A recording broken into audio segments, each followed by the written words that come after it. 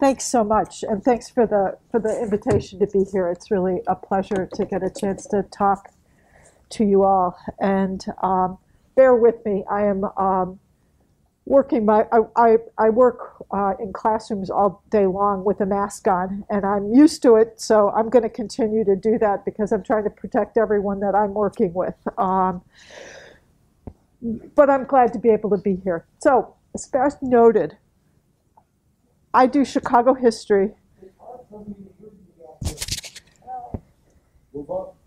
Yeah, we don't have a microphone. Yeah, I'm, I'll, I'll talk as loud as I can.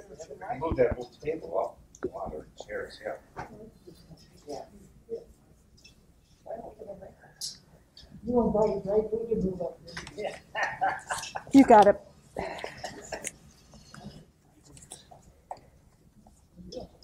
Let me know if it's let me know if it's loud enough. Um, so I got interested in early Chicago history because of the Encyclopedia Project. So I that's how where I got my particular interest early on. And so the book, The Rising Up from Indian Country, is about Chicago in and around the War of 1812. Um, and so that book I used uh, a source called Waubun, Chicago in the, the, Northwest in the old, early day, and it was written by this woman, by Juliette Kinzie. And so when I finished the book on 1812, I, I wanted to go in and take a look at, at Juliette and her life. And Waubun, so Waubun, if you haven't looked at it, oh, is something that I would encourage you to, to pick up. Um, it's online. It's never been out of print. It was first published in 1856. And it's, it, it makes her the very first historian of Chicago. And I think she's a really interesting character in that way. She's also, it's also, it's history, it's also travelogue. So she's also describing the world that she's living in when she moves west. So she's born in 1806 in Connecticut, Juliette Kinzie is. And she moves west in 1830 when she marries her husband, John Kinzie, who's the son of uh, the John Kinzie who's of the infamous John Kinzie from the Fort Dearborn era. All right, this son is by 1830 the, the sub agent for Indian Affairs to the Ho-Chunk, to the Winnebago in um, up in Portage. And the story of how they come together is for another day. But Juliette decides that she wants to move west. And so she's uh, 24 years old and she marries uh, John Kinzie. So she's not a, a young woman in, in, in uh, of her generation in terms of when she got married. She moves west to Portage. And so what I want to start with is thinking about her. Julia Kinzie is born an Easterner and she moves west and she chooses to be a Westerner. So she really defines herself as a Westerner for her entire lifetime. But the story I want to talk about today is when she gets redefined by, by mostly by her, uh, her daughter's family. Her daughter will move to Savannah, Georgia, and she is going to be described as a Northerner. And this is someone who never really thought about herself as a Northerner. As an Easterner, yes, choosing to be a Westerner and then uh, being defined as a Northerner by uh, the people around her. So that's the story that I want to talk a little bit about here today. Let's see if I can, if can get this. Okay. Let's see. Hey, John. Go back. Okay. Mic a little bit, so I can see the, the, the PowerPoint a little. I don't know why it's not working. It did it to me last month, but you're good now. Oh, oh yeah, we can go to the next one. Yeah. Sure. So this is, oh, great. This is This is the. Okay, I'll keep my finger on that one. Um, this might be a familiar image to you just from her story of Chicago in the 1830s and 1840s. This is the her drawing of the Kinzie House, which the Kinzie House is the Jean Baptiste Point du Sable house. Um, built on the north branch or on the, the north side of the main stem of the Chicago River. But again, it gives you a sense of, of her skill. She's a writer, she's an artist, she's going to draw maps, she's a really interesting person in that way. What I found in investigating Waubun and her life is that she was also an amazing letter writer. And she wrote thousands and thousands and thousands of letters over the course of her lifetime. The bulk of the letters that have been preserved are preserved between her daughter Nellie and herself, largely in the years just before the Civil War, during the Civil War, and after the Civil War. So, what I'm going to talk to you about today, a lot of that comes from the letters that she's written to her daughter, and they come back and forth. The book is for the earlier era. So I was able to extend her story because of all of these wonderful letters. Okay, just a couple of slides on Portage, because she starts there. That's where she comes in 1830, comes out when Chicago is a part of Indian country. And one of the things that she does do when she's out here is she gets to know many of the, particularly the officers in the U.S. Army who are posted in the West. And they included amongst them Jefferson Davis. So Jefferson Davis was someone that she got to know uh, he was infamous in her family and the telling in, in, their family because he made very big, heavy, bulky furniture in the, uh, the fort up at, at Fort Winnebago. And um, they inherited it. So um, Jefferson Davis was kind of a, a code for badly made furniture for their family for many years. But um, again, she got to know her brother in law, her future brother in law is a man by the name of David Hunter who's going to become a major general in the Civil War. He's in the U.S. Army. He's going to be in and out of the Army for a, a, a period of time. He's out in Kansas in the 1850s. But he goes, he's going to go east with Abraham Lincoln because not, he's one of the crew of people that goes east when, when Lincoln does and is on um, something of a protection detail, although David Hunter is another character that we, whether or not that's in the end what's going on. At any rate, they build, she and her husband build a house. So if you haven't been up in Portage, Wisconsin, it's a wonderful spot that the colonial dames have maintained as a site. They build this house in 1831, 1832. So just as the Black Hawk War is beginning. So she experiences war during those that time, that Black Hawk War. Her first child is going to be born just at the end of the Black Hawk War. So this is an Easterner moving west, and she brings things that she's going to try and recreate out in Indian country, her world. The piano. This is same model piano that she that uh, she brought with her. The legs were off over the over the portage uh, and up the Fox River. She brought, and this is her china that's up there at Portage. In 1833, after the Treaty of Chicago that ends uh, this region as Indian country, she and her husband moved to Chicago because they can claim they claimed a lot of land. The Kinzie family did on the near north side. The Kinzie addition to the original subdivision of Chicago on the near north side, Michigan and Cass's, Illinois, excuse me, is um, Hubbard and Wabash today. So this is where she builds her house and the the um, the um, subdivision is up here. So right, right across from Fort Dearborn is where her husband's family had built had initially purchased their the holdings from Jean Baptiste Point du Sable. So this is Julia Kinzie, different guys than the one that's on the cover of the book and that we usually think about with Julia Kinzie. It was done in 1838 by an itinerant uh, uh, portrait painter from Peoria, and it's her daughter Nellie. So these are the two figures that whose letters going back and forth tell us the story of Chicago during the Civil War era. And this is the house they build. It's um, roughly at the side, it's at, well, as I said, it's at Wabash and and uh, Hubbard today. you look down three three three stories, right? Because it's uh, with Wacker Drive and the Hubbard the two level Hubbard. So it's there's nothing there now. But this is a brick home in a uh, in a frame town. They're very wealthy and they make their money on what? They make their money on real estate. They're going to lose all of much of their money after 1837 38 with the panic that comes then. But in the meantime, Juliette's an institution builder. She and her husband helped to build St. James Episcopal Church, one of the first religious institutions in town, and it's directly across the street from their house because they give the land for the house for the church and she can look out her windows out at this church. Her house is in the distance here. She and her husband build the lake house, and this is Fort Dearborn here in the foreground.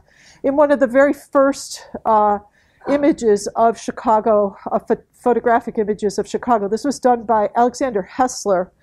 I don't know, there, maybe some of you are familiar with this image if you are uh, you like Chicago history. Uh, Paul Lane, who's a does photography, uh, restoration of photography. I, I, just when I he got these people to pop out at some point. Hopefully, in the not too distant future, I can sit down and try and figure out who some of them are. Uh, but this is 1857 in Chicago. No, it's 1856 in Chicago because it's just before Fort Dearborn is going to come down. And this is what Chicago looks like. Again, it's another one of Hessler's images right in that same area. So Chicago's going to grow from just a couple of hundred people in 1830 to um, there are 30,000 people in 1850 to 100,000 people in 1860. So she's living in Chicago as it's growing rapidly. And this is a wonderful Palmatary map. Her house is right here, right along the main stem of the river. The first railroad line is here, the Galena in Chicago. These are the grain elevators, the lake house. And right here are the yards for the Cyrus McCormick plant. So the story that's going to unfold here, she's living in the middle of what's become a, a, really one of the big industrial areas of Chicago. It's on the near north side. The railroads are on both sides of her, and she lives in um, a neighborhood that's got lot that's got industry the elevators, as well as then some of these older homes. And her home is on uh, multiple lots. They have a, she and her husband had a big garden and outbuildings uh, for many years. That's just a close up of that house. By 1856, she and her husband then had been established. They had four children that they were raising to adulthood. She has her portrait taken. This is the portrait on the cover of my book, but it's also the portrait that sits not in Chicago, but in Savannah, Georgia, which is the story of how this story turns southern um, as we move into this. She, her, she, Julia Kinzie, this painting is done by G.P.A. Healy. Um, you guys, uh, the folks with studying the Civil War era, G.P.A. Healy is kind of our, you know, he's our standard bearer for portraits, right? Abraham Lincoln, my, one of my favorite images of William Tecumseh Sherman, U.S. Grant are done by G.P.A. Healy here out of Chicago at Lincoln. I mean, I, I, to, to start there. She has, by this point, doesn't have a ton of money, but she pays for, she and her husband pay for portraits of them of each other by this point, so this is painted in 1856 57, John Kinzie is one of the organizers of the Republican Party in Illinois. So he's organizing the Republican Party. He'd been a Whig, and as a Whig politician, he'd been they've been he'd long been supporters of William Henry Harrison going back to the 1840 election. And in the 1840 election, they met another Whig from further down from downstate by the name of Abraham Lincoln. And so their stories again, politically, the Lincolns and the Kinzies are um, are, are involved in organizing then the, this new political party in Chicago, in uh, Chicago and across the country, in Illinois and across the country, the Republican Party. So this is John H. Kinzie. Um, these portraits are in Savannah. So they are here because just before the Chicago fire, Juliette's daughter Pat has them packed up and sent down to her the house that I showed at the beginning is going to burn in the 1871 Chicago fire, but a couple of things get saved, and there are things that got that wound up going down to, to Nellie. This is Nellie, and she's the woman then that uh, the letters, most of these letters are back and forth with. And Nellie's portrait is an enormous one. Um, and uh, she, Nellie, by 1855, 1856, has gone to a finishing school in New York for a few years. She met in New York a Yale student by the name of William Gordon, and they courted back in New York.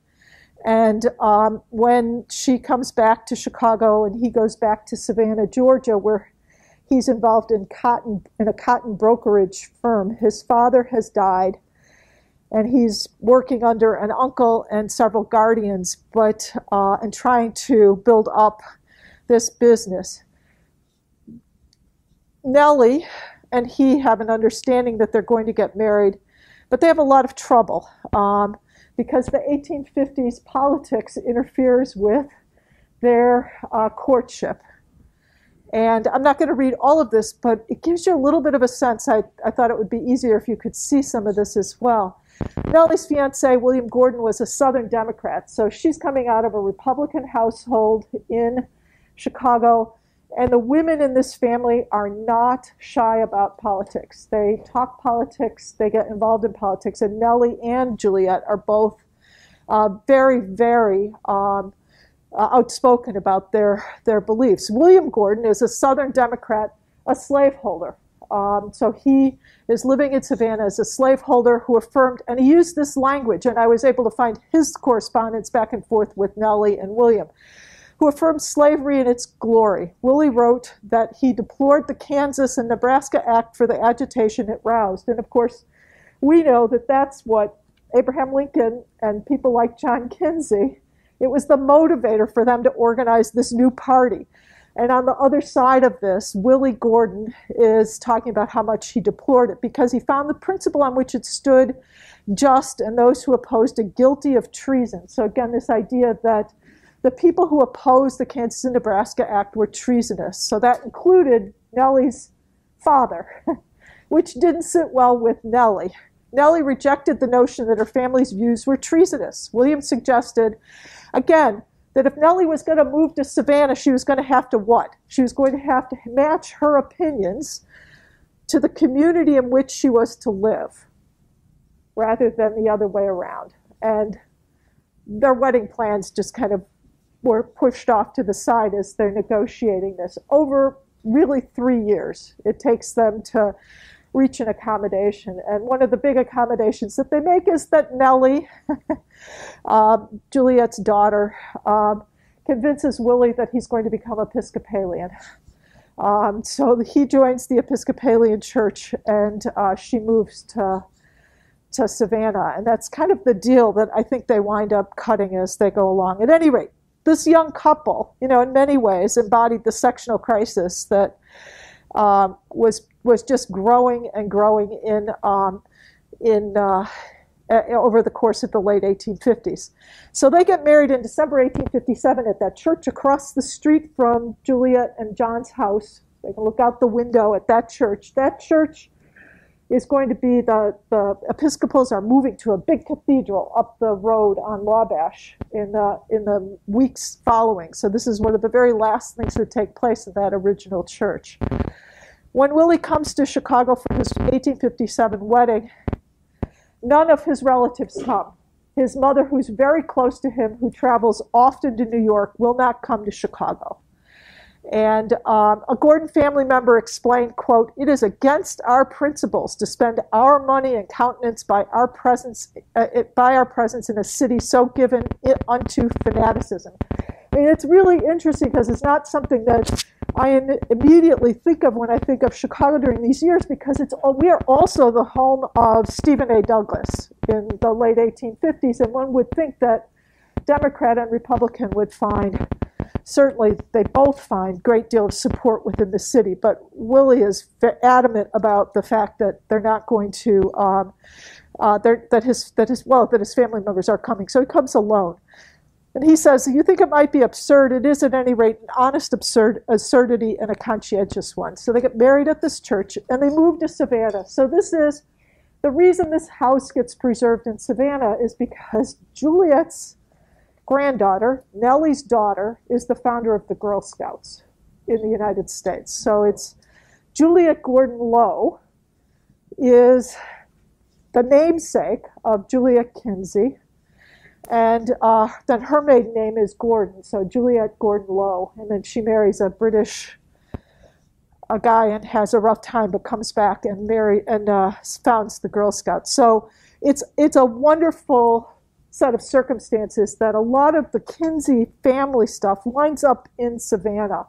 So those paintings on display, and Nellie's portrait is there in in Savannah. So it, again, great fun to be able to go do that. Okay, so Nellie has a very tough time when she goes down there um, at first, and um, Juliette is just reminding him that in the end, you know, Nellie has to understand you belong to him, to, to Willie, now that you're married. Uh, you must remember that as an individual, you have ceased to exist. And that's one of the things that I have wrestled with in this book is thinking about how Juliette and Nellie's attitudes towards slavery are shaped to some degree by this. And I think she chose that word very, it's a very, it's, it's, a, it's a word that, that sticks out with me. So this is the, uh, you belong to him. You remember that as an individual, the word was bound, and it's up here, but that you, you have ceased as an individual to exist. So this idea of coverture is a very real thing to Juliette, and she often will make allusions to the kind of the ways in which she has a very happy marriage, but that she's bound in that. So, in any event, Nellie begins to have children, and she has uh, two daughters before the Civil War is going to break out, and a third one in the very first years of the war. Just another image to get a sense of Chicago during these years. So Juliette has uh, has made the trip. She makes she and her husband make the trip once to Savannah after her daughter's marriage in 1857. Before uh, and the they never come up. Uh, the Juliette's uh, daughter is uh, her husband really doesn't want them anywhere near Chicago. But Juliette starts to write to Nellie about what's going on in Chicago. So we get a lot of letters about May 1860 when the Abraham Lincoln is nominated at the Wigwam. And uh, Juliette is uh, on the platform the first day. She's one of the committee, right, that decorate the inside of the Wigwam. She sat at the opening fest festival upon the platform near the speakers. And, you know, once the convention starts, women aren't allowed on the floor or on the, on the, the stage. There's one exception. That's um, Mary Livermore, who's up on stage as a reporter. But other than that, it's all, uh, so this is her chance to be on that floor. And she knows it's that her chance. We had a right good time, and everybody who stopped to speak said it was a pity that you weren't there. And this is when you start to think about these are letters that got read aloud down in Savannah. And she's writing these letters. Juliette is writing these letters to kind of needle, I think, her, her son in law as well as her daughter's in-laws. Um, she's living in a house that her mother-in-law, that Nellie is living in the house that, in fact, her mother is the, the mistress of um, through uh, through whole, the whole of the Civil War. Um, at the bottom, um, you get she's uh, Juliette quotes um, from someone that she was talking to that it takes a Chicago takes Chicago to do up a thing splendidly. Oh, how I wish you were here, and just more images of the and Abraham Lincoln being nominated.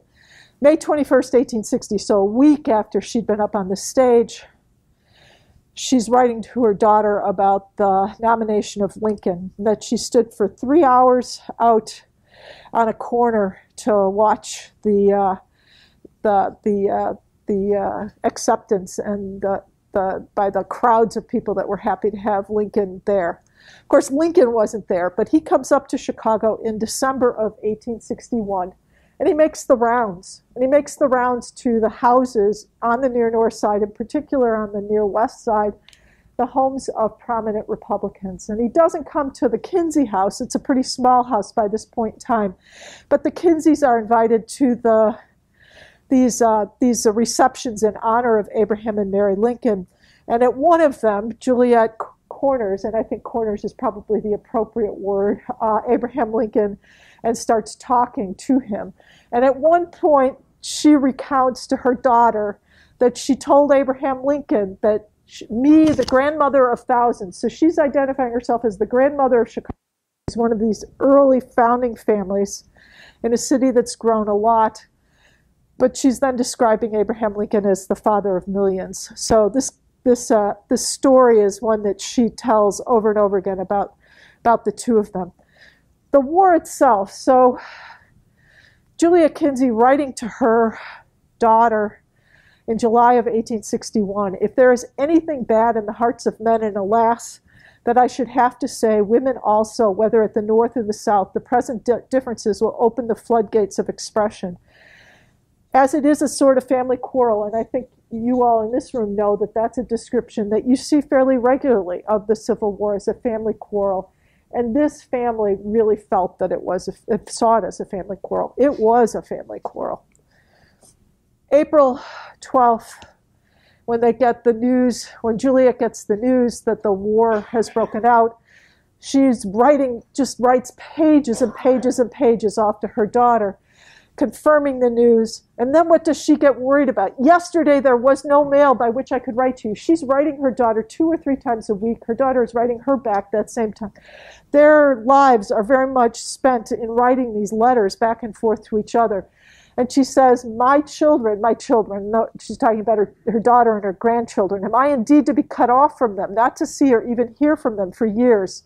I trust some means may be found for us to communicate at least occasionally. And she says, Little did I think when I yielded a reluctant consent to give up my daughter to a distant home that the time would ever come that home would become a foreign and hostile one. And again, that's, that's one of those phrases that um, when I think about this. And again, that this the women, the role of women, she's encouraging her daughter not to um, rouse any aggravating fe- feelings amongst folks. By April 29th, she's really she's she's comforted that she knows that some of her letters are getting through to her daughter. And then there's going to be an ongoing trope is whose fault is it when letters don't get through? Is it the fault of the president of Abraham Lincoln, or is it the fault of um, the, in the Confederacy, the, the Southern um, unwillingness to deliver any of this mail? And this is, again, um, so I did not blame the president, but Baltimore that was obstructing troops, right? Um, and then again, um, oh, how I wish you had come north before the troubles began. Everyone says so. She would be better here if her husband is away. So Nellie's husband will join the Georgia Hussars in the early days of the, the, the, the Confederacy. So even before um, Abraham Lincoln's inauguration, he's a part of that. Um, the mail is just a huge deal to her. I, I, if I'm thinking about what does the Civil War um, mean for Juliette on a day-to-day basis, it's this intense reliance on the mail. Um, and so when President Lincoln in his first inaugural says, we're going to make sure the mail gets delivered north and south, right? And he does say that, and it's. I think he's. I mean, he does it with the eye towards the country is not torn asunder. I'm going to. We'll, we'll see that the post office delivers mail north and south, and he's unable to follow through on that. That just does not. There's going to be all kinds of of um, discontinuities in mail delivery. But um, again, there was really not enough, there really was no provision for moving mail from north to south.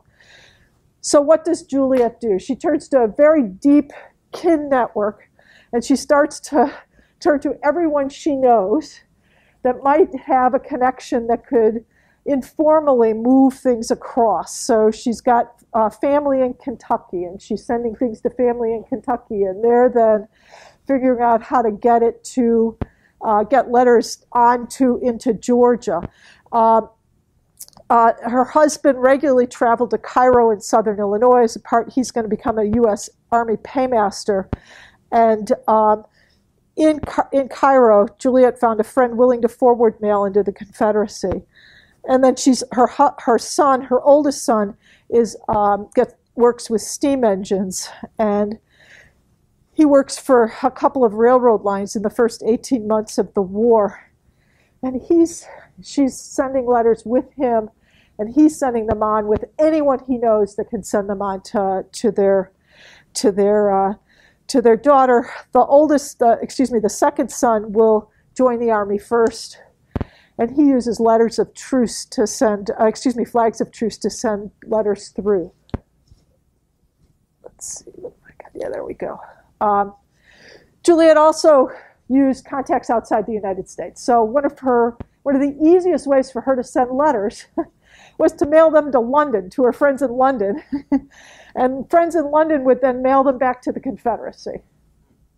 Uh, she had family in Havana, and she would send letters to Havana. And from Havana, the letters would then get sent to her daughter, Nellie, in Savannah. So that was that was two of the routes that they used. Uh, her brother, Bermuda, Canada, she sent stuff to Canada a lot too. Um, when Juliette's brother Julian and his wife traveled to Europe, like lots of Chicagoans during the war, they became another contact for Nellie and Juliette. So they they both write to these folks in uh, in London who would then uh, turn that. At one point, John John Kinzie, noting all the scheming about routes that his wife had made, suggested tongue cheek, I expect she will try the China route next. So again, the idea that he's watching his wife pretty much every day, trying to think of a new way to get letters to her uh, her daughter.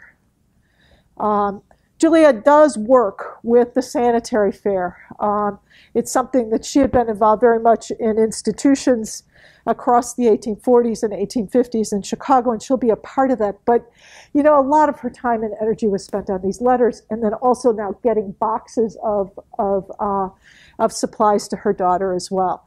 She's also going to send letters off to her sons. The first son that uh, that enlists is Arthur. Uh, he's a 20 year old student at Kenyon College in Ohio, so the Episcopal College in Ohio. He is uh, just about to graduate, uh, but a whole, he joins a light, light, oh, you guys, I'm going to screw this up. Um, light artillery, is that right? Did I say it right? Uh, group that, that the, the company that he joins comes right out of St. James Episcopal Church. So it's everybody from the church joins this company and goes down to Cairo in the very first days of the war. So this 20 year old goes off in this first group. And of course, what Julia does a couple days later is she gets in the train with Sunday dinner and they bring it down to this company of soldiers. So they're, um, they're back and forth while they're in Cairo fairly regularly. Arthur will soon join his uncle David Hunter. Um, and you've got this. His, his, uh, his uncle David Hunter's uh, uh, staff. Um, John Kinzie goes to Washington, D.C. in after the war starts think in late May 1861, he is 60 years old. And uh, he volunteers. And he goes to visit Abraham Lincoln because he knows Abraham Lincoln. The people from Chicago that just are rolling through Washington, William Ogden, um, Mark Skinner, they're just rolling through, and, and David Hunter are advising uh, well, Lincoln and Lincoln's trying to place them in, in, in, in jobs and does place a lot of them in jobs. And John Kinzie then is appointed the paymaster, who's going, uh, one of the paymasters for the Army that's operating out of Detroit and Chicago. So he's actually going to be home for a good part of the war, but also then in Detroit. His brother will be a paymaster. Uh, he's in a lot of different places, Kansas, and then uh, further at hand. Uncle Robert starts out. This is this is her brother-in-law. Another brother-in-law is at Alexandria, and um, again, she's writing to her daughter in Savannah about all of this stuff that's going on back in um, in Chicago and then across the north. David Hunter's an interesting again is Juliette's brother-in-law. He goes east with uh, Abraham Lincoln travels with him uh, as he makes his way east with that trip where he's stopping and giving speeches all the way along the way. And then he's, he basically is camping out in the White House, in the East Room of the White House, in the first weeks after the, the, uh, the inauguration. And uh, Hunter that will be promoted to a major general by August of 1861. And he is, uh, he's going to wind up uh, in the Southern District, and we'll come back to his story because he's going to be he's going to be st- he's going to wind up outside of Savannah directing troops. Juliette's oldest son John does not enlist in the army um, initially, so his father and the middle son have gone off. John does not. John's making quite a bit of money working. He's a he's an engineer. I mean, not trained as an engineer, but he, he knows steam engines, and he's working with steam engines. He'd worked on um, steam um, steamboats. Uh, the Lady Elgin was one of the ones that certainly is is a story that that uh, percolates up over and over again because they know the dangers of him working near steam engines. But he's on working for a number of railroads, and he gets married in 1861 with a young daughter before he joins the army. So he's a much later arrival in the into the story. But he he goes with the with the Navy, so he gets involved with the steamboats and the ironclads uh, on the Mississippi. And he's helping to build, and then he's helping to operate uh, the uh, steamboats on the Mississippi. And uh, by April of 1862, Juliette is writing to her daughter Nellie, Your brother John is now probably near Memphis. He thinks his boat, the Mound City, the greatest invention in the world. By God's mercy, their victory has been bloodless one. So again, this is at uh, island number 10, right? Um, the, the successes on in April of 1862.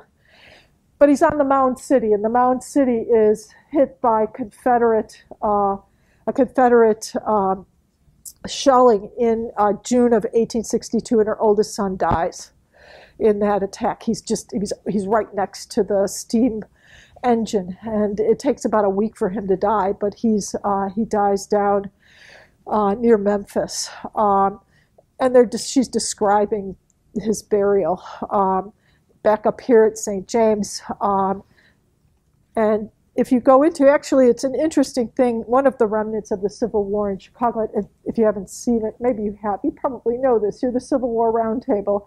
I didn't realize it was here. This is in the um, the foyer of the that's not the, what it's called of the saint episcopal of the st james episcopal church.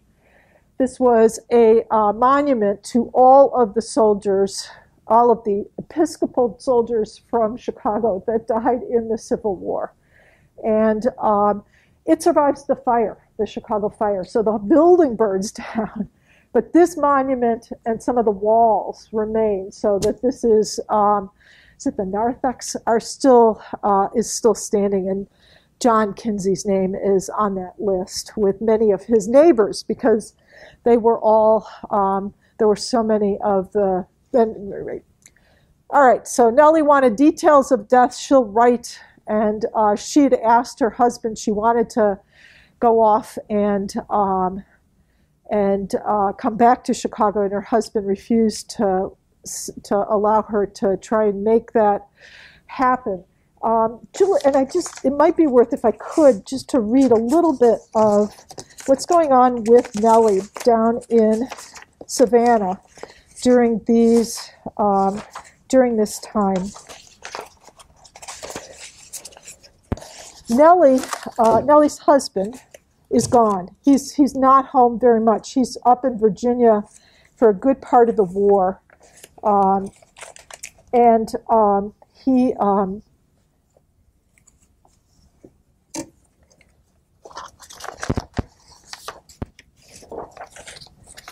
oh, I had the page number and I wanted to share this with you.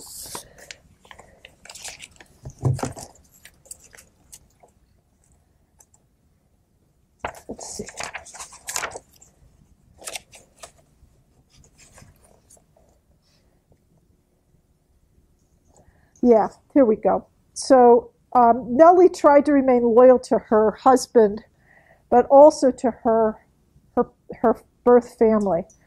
Um, Nellie wrestled with her divided sympathies. In contrast, her cousin Posey. So Juliette has a cousin Posey who's married to another Confederate officer um, who had actually been in the U.S. Army and resigns his commission to join the Confederacy. But Posey, her cousin, often stayed with David Hunter. So she crossed back and forth between enemy lines, this cousin that also spent time with Nellie in Savannah. She spent six to eight months, particularly 1862 into 1863, after her brother has died, after Nellie's brother has died. David Hunter, her their uncle, is um, the commander outside of Savannah for U.S. forces in May of 1862, and um, uh, let's see uh, what they what they what they got. And Posey was the only member of the Kinzie family welcome in the Gordon household, and she spent over six months with Nellie in Savannah. Juliette was grateful that the cousins were together, but the Gordons couldn't help themselves from expressing their displeasure with Posey's defiant support of the Union nor could their neighbors. One night, when the cousins returned to the Gordon home, they found the contents of a privy had been thrown over the steps and the front door of that big house in Savannah. So you get some sense of they were not that they were not seen as the best of uh, neighbors, and that goes back and forth.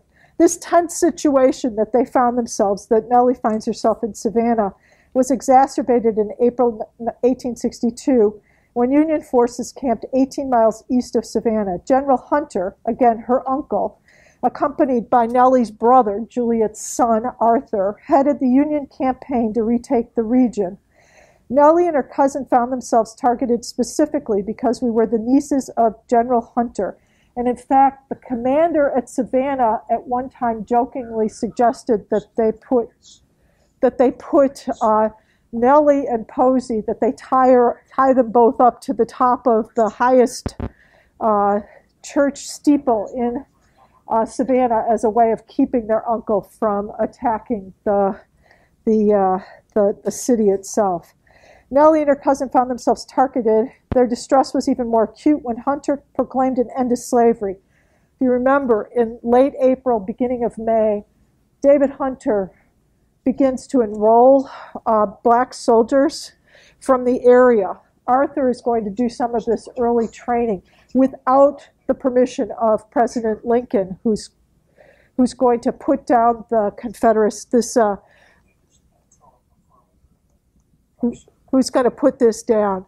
Um, and this is Hunter writing to Abraham Lincoln about what's going on um, and telling Hunter in no uncertain terms that he is to cease and desist enrolling black soldiers. This is, again, before um, he's willing to have that done. That was 1862, sorry. Um, Arthur wants to see his sister while he's stationed outside of Savannah with, with the U.S. forces. And Arthur knew his uncle would smooth the way for the visit. Nellie will not let her brother come to visit. She did not understand how her family could be so blind. Should we check and see what that is, or are we okay? Uh, For those, anybody who's, who's on the Zoom broadcast, could you mute, mute your computer, please, Thank you. uh, until it's question time? Thank you. Nicely done. Thank you. Sergeant at arms here. Truly, truly, truly, truly. It's yeah. It had it the voice of authority. It's what works. Um, okay, so back to Julia. Juliette decide. Julia is sending all these letters different ways. She's also trying to get trunks and packages sent to her daughter. And one of the big things that she's uh, she does is she writes to Abraham Lincoln. She writes him a personal letter, um, relying on their personal relationship describing her daughter as a poor little prisoner of war who was a citizen of Chicago who loves her home and her, her old flag. She closes the letter that she writes to Abraham Lincoln very truly and respectfully, your friend Juliette A. Kinzie. And Lincoln says, okay, you can send trunks. Um,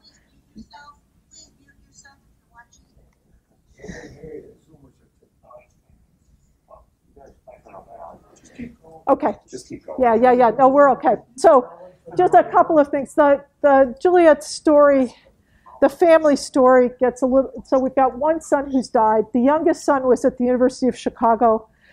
He was a very he was uh, not 18, so he was 16 when the war starts. And at about time in 1864, he wants to enlist. He wants to be a part of the war.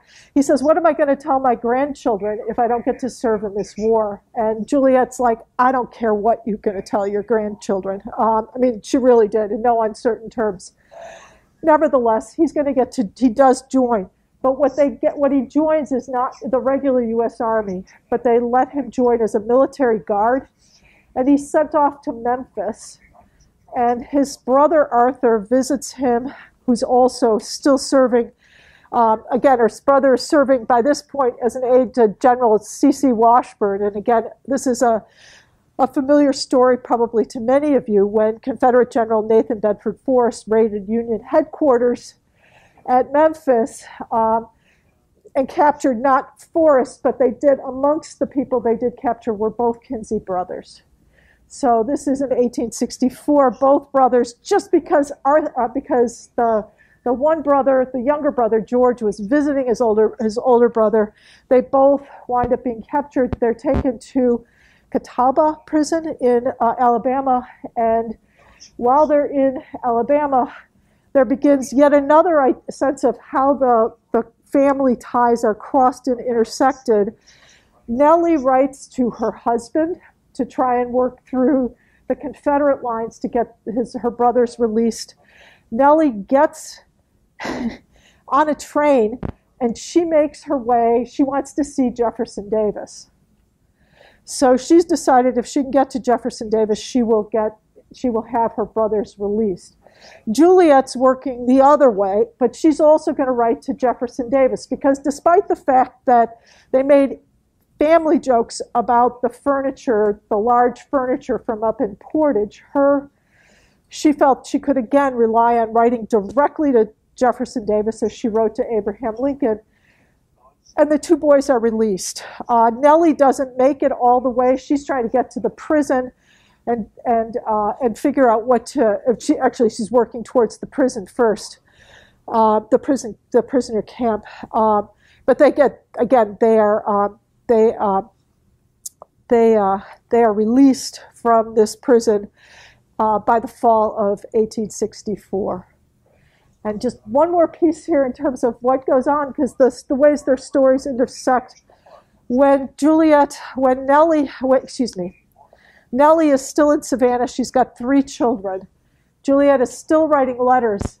When she sees that General Sherman, who's got a lot of Illinois troops with him, is moving on, on, on Atlanta. And then when he starts to move across to Savannah, she starts this furious letter writing campaign to everyone she can think of who's in the units with Sherman going across Georgia. Why? Because she wants them all, everyone she can think of, to know that she has a daughter in Savannah that needs to be taken care of, that they need to take care with.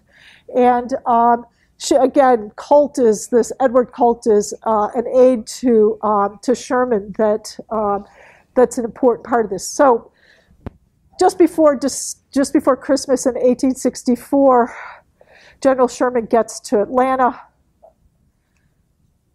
Union forces march, march along the Savannah Street just outside that Gordon residence. Juliette's granddaughters, who by now are walking around and talking, peeked out through the shutters tightly closed to the Yankees. They wondered out loud which was old Sherman.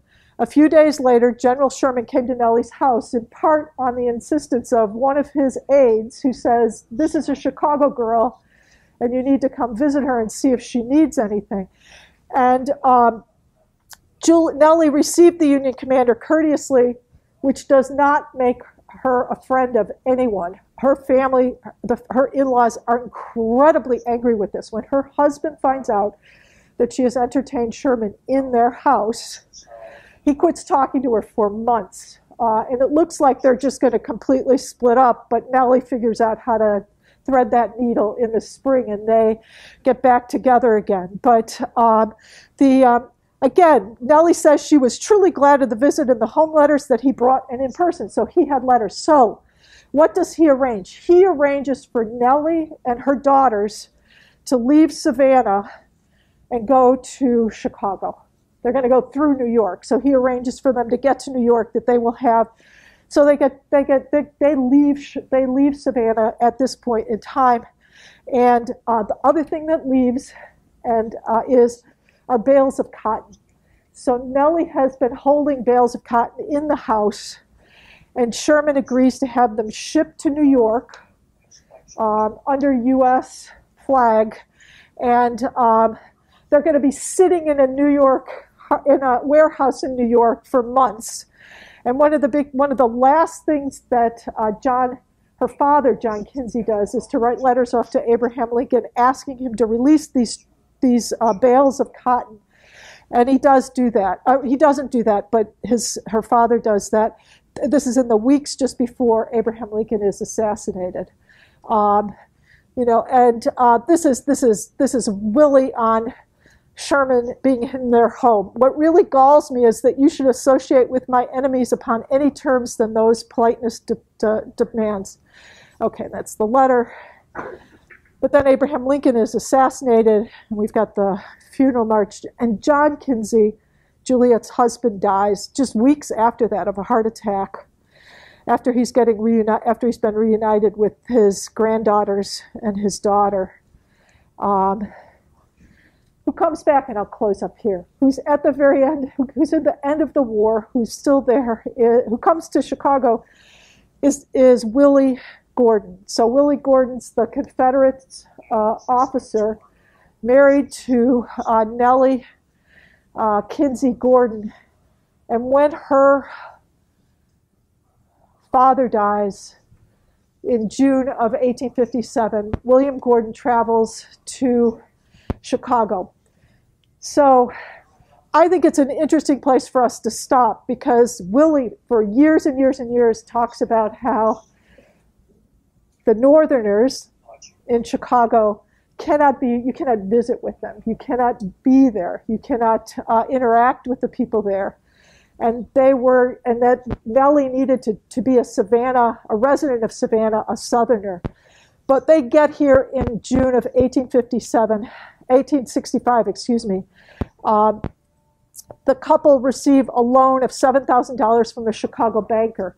And the loan agreement, uh, Nellie keeps, and it's in her papers, in the Gordon family papers that are saved for many years. So to get this loan, William Gordon did something that is really, I, I just, it's kind of incredible that he did it. He presented himself in July of 1857 as from Chicago, Illinois.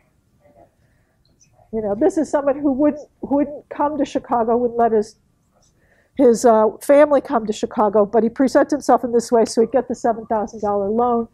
It does recoup the the he comes goes back to Savannah and he's able to start his brokerage business up again, his cotton brokerage up business up again. And the Gordon family recoups and then some their fortune in the the, the the decade after the war, and it really is on the basis of this loan that's made to him there. Okay, I'm going to stop there. I'm happy to take questions uh, about what's going on with this family, if anyone, or comments about what's going on.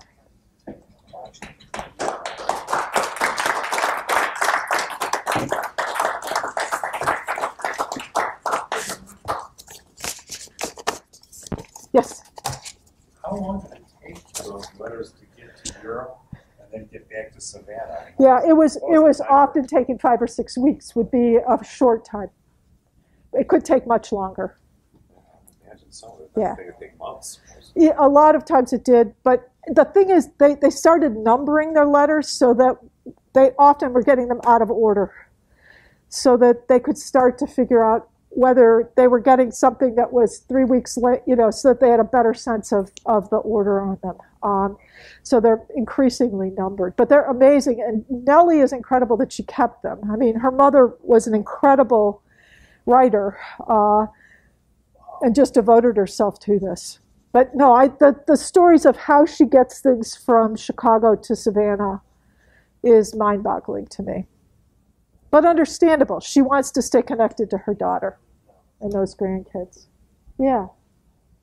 So is Kinzie Street named Yes. John Kinzie? Uh, it's named for the Kinzie family. So Kinzie Street runs through the Kinzie edition. So that's the, that first one of the first editions, Wolcott's edition and Kinzie's edition, just north or just yeah, just on the north side of the main stem of the Chicago River. South of just south of it is the the original the Canal Plat, right? The 1830 Thompson Plat. But no, you're exactly right. That's the Kinzie family. We were out. I was out with a group of students on Wednesday. My first tour for and since the pandemic started. And um, we got to Kinzie Street, and I did have a student say, "Is that the guy, the, the family that we've been reading about?" And I'm like, "Oh, you bet. Good work."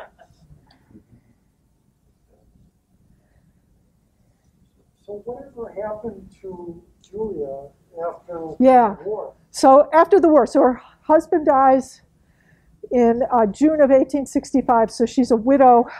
She is has a really tough time as a widow because her husband, her family was deeply in debt. So she spends four years in probate court, and part of that, and then she starts to sue all kinds of people in Chicago because she's making dower claims on land. So she and her husband bought and sold a lot of land in the first three or four years of Chicago. So she sues everyone from the Newberries to uh, Walter Newberry to William Ogden. And um, she gets some money in these dower claims. And ultimately, in 18, early summer of 1870, William Ogden settles with her. They were all in the same congregation. I mean, this was just an awful thing. Um, but she, she uh, as as kind of a reward, she meets her daughter in New York. They go to Long Island, very close to where she was born, um, just across Long Island Sound. She dies of a, a morphine overdose. It was an accidental morphine overdose. She was thought she was taking quinine pills, and it turned out it was it was morphine. So um, she died, yeah, in 1870. So she dies before her house burns down in, back in Chicago, which I guess is a blessing in that sense. It, no, it's not. I mean, it's yeah. Most of her memoir, Waubun, wasn't that reissued, but around the turn of the last century by R.R. Donnelley, it's a Lakeside Classics book. Yeah, um, it's it's uh, R.R. Donnelley's involved in several editions. You're exactly right, and um, actually, uh, Nellie works very hard with R.R. Donnelly with that printing that's done in the early 20th century. Um, and then there's a beautiful. The Lakeside Classic is a little bit later because Milo Quaife does the introduction for it. So it's just that's an incredible book too. But the editions are the Caxton Club does an edition. I mean, they're really. It's just some of these editions are just you're, are just amazing. Um, the original I've seen. I. I've, I've, you know, I've held some of the original, uh, some of the 18, some, some of the 1856 copies that are floating around. But it's a book that if you just Google WAUBUN, W-A-U-B-U-N, there are PDFs of this available. I mean, it's Internet Archives. You can get a copy of it online now, so you don't need to leave your computer screen to get it. But it's quite a story. You didn't mention that Juliette and John were in Wisconsin, so where did they, uh, what were they doing up there? Where did they make all their money from? Yeah. speculation? Yeah, so to, two parts of that. So um, John Kinzie in 1830, when they get married, is the sub agent for Indian affairs for the Ho Chunk. So he's basically the Indian agent for the Ho Chunk, Okay. for the you know, for the Winnebago. So he's mid Wisconsin, and they'd set up um, a, an Indian agency, an Indian agency at Portage, so just north of Madison, and that's where they go to live. And so initially they're out in Indian country, and Juliette loves this. I mean, she just she really, really wanted to move into Indian country. This was something that she. I mean, it's a her uncle was an Indian agent at Chicago, so she had long connections with Chicago. But um, they're not going to make money doing that particularly. So when the treaty here in Chicago in 1833 that comes after the Black Hawk War, that's going to move, Mean, forcibly move the Potawatomi and their allies and so many other Indian groups west of the Mississippi River. When that takes place, the Kinzie family can make a preemption claim on all of the land north of the main stem of the Chicago River around the house that they had purchased. That they had purchased. They couldn't own the land before 1830 when the Thompson plat comes in, but after that, so they make a lot of money. They are really, really wealthy by the standards of almost anywhere 1835 1836 in those initial years of speculation and it's new yorkers that come in and buy and they're making a lot of money. But the panic of 1837 and the ensuing depression wipes them out completely. Um, they make really bad investments john kinzie is a really interesting character he knows a lot of indian languages he's very much at ease in indian country and then they decide to move to Chicago and become real estate investors and entrepreneurs. And he never really gets. He's he's going to be outpaced by William Ogden, by uh, the Newberries, by the Rumseys, by families that are going to come in and become some of the wealthiest families in the country. Uh, Cyrus McCormick, right, in the, those years in the 1850s. McC- uh, Kinsey will, will not do badly. I mean, I, we're not going to hold a tag sale for him because he remains a politician. and he gets Whig posts because of Whig politicians. So he gets appointments in 1840 by the Harrison administration and he's continued to hold posts that include the canal collector. So for the I&M Canal, he's the canal collector at Chicago. So he's he's got he he handles uh, these kinds of posts. He does all yeah. So that's what he does. So they they make and then lose quite a bit of money. They don't lose the house. So that's one of the things that and Juliette, it's just not something it's kind of, I think it must just be a deal breaker. She's unwilling to lose the house. So they do all kinds of things and go into debt, which is why she has so much trouble at the end of her life. Now, did she ever go back to, did she ever go to Savannah after the Civil War, Juliette, to see Nellie? Does that in any of the letters after the war? Did She makes ever go down? one trip, She goes on one. but she she's she's only makes two trips there. That's the, but and but they were also on their way to Savannah when her husband dies. So they get they had they gotten to Pittsburgh, and he has a heart attack and dies, and they just come back. Um, another whole interesting thing is moving people, are dead bodies on the trains, and what that required. I mean, they had to have an American Express uh, agent accompany Juliette's body back from New York when she dies in New York and is going to be buried. They're buried at um, Graceland Cemetery. So they're actually some of the initial investors in Graceland. The Kinzie, John and Juliette Kinzie are, and uh, their gravesite is the Dexter Graves. The Dexter, the the the really eerie, um, just gorgeous. Oh yeah, you got to look it up. The Dexter Grave Graves monument is just across from where the Kinzie Kinzie plot is in Graceland. If you're cemetery, well, you are cemetery people. You go to. yeah, this is. I'm talking to a room that gets this. So Graceland Cemetery, these they're all in Graceland Cemetery, so it's kind of fun to see. She had her, Nellie puts up monuments after um, when they've made their money back. So not in 1870, there was no money, but by 1875, 76, the Gordons have recouped uh, and then some, and she puts up uh, monuments to both her, her mother and father, and there's book a book on on Juliette's. Uh, so it's really quite a testament. And then she goes back, and she's gonna Nellie's gonna work very hard to keep that book in print uh, over many many years. Anyway, thank you. Thanks very much.